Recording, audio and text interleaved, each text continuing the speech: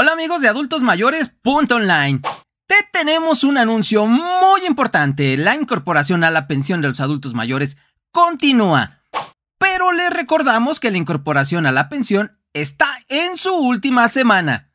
Así que del 27 de junio al 3 de julio seguirá abierto el registro atendiendo a los adultos mayores según sea su primer apellido, organizado conforme al siguiente calendario.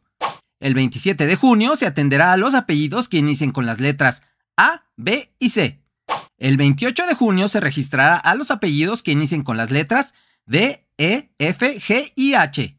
El 29 se recibirá a los apellidos que inicien con las letras I, J, K, L y M.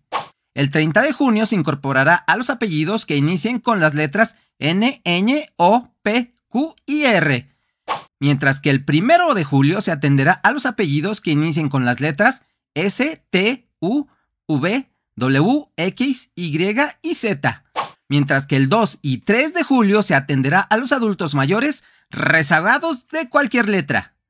Recuerda que para hacer tu trámite de incorporación debes haber cumplido los 65 años durante los meses de mayo y junio o meses anteriores, y deberás presentar los siguientes documentos Identificación oficial vigente. Tu CURP. Acta de nacimiento legible. Comprobante de domicilio y teléfono de contacto para dar seguimiento a tu trámite.